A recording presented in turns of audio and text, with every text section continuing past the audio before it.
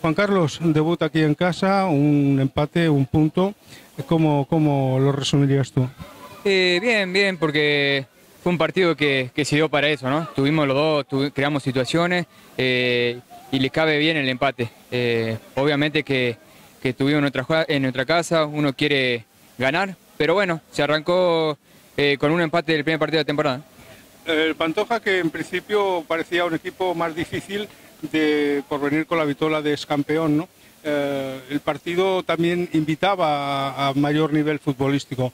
Se ha, mm, se ha entrabancado un poco el encuentro, no, no se ha visto un juego fluido, ¿no? Sí, sí, yo creo que es lo que, lo que vieron todos. Por ahí el campo de juego no está en, en óptimas condiciones y, y más lleva el partido a, a estar muy trabado, a chocar mucho, a, a hacer mucho foul y es lo que se vio, ¿no? Así que, que bueno, nosotros tenemos un equipo que juega bien al piso, así que ojalá que en otros canchos, otros campos de juego más buenos, este, podamos hacer el- nuestro juego, ¿no? ¿Qué destacarías de Atlántico?